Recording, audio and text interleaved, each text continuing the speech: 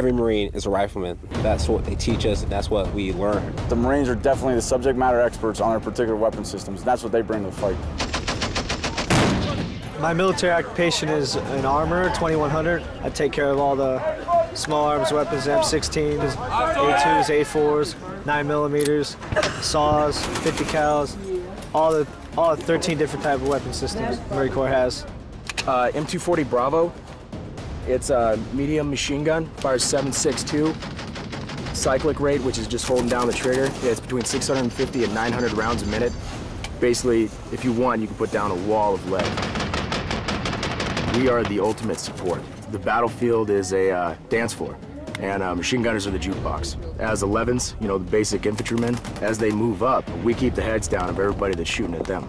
This is the M4 carbine. It fires 5.56 NATO round.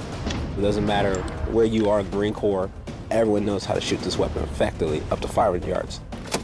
This is a Mark 19, the 40 millimeter automatic grenade launcher. It's a great, great support asset to have with you no matter where you go. The uh, M110 SASS is a semi-automatic weapon system. It's for mainly multiple target engagement. The uh, M40A5 is our traditional weapon. It's a bolt gun. It's mainly for precision and accuracy when it's really needed.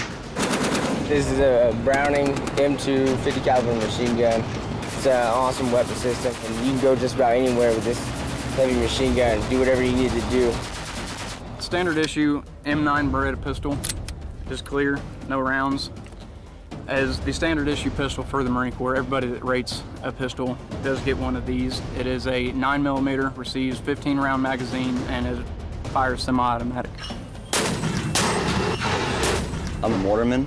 Uh, mortar is a high-angle fire weapon. Basically, we were able to reach out and touch people from far away. Fire! This is a M40A1 Sabre anti-tank missile system. We can hit targets moving laterally at 45 to 50 miles an hour in front of us at about 3,500 meters and uh, have about 95% hit ratio every time. Using a lot of conventional artillery, a lot of area fire weapons, we can now engage from a further distance with precision guidance. We may not show up with the, uh, the biggest weapon system, the largest piece of armor, but you don't have to. You just need to know how to use the tools that you have. At full! Full load, gun up!